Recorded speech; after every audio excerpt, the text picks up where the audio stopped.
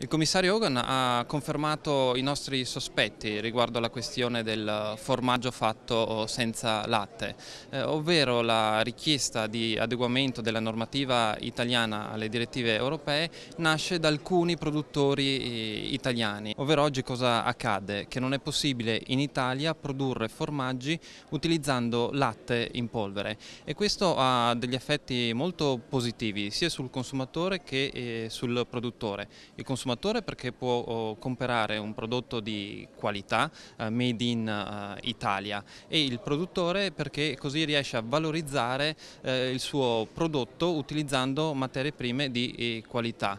ora questo attacco al made in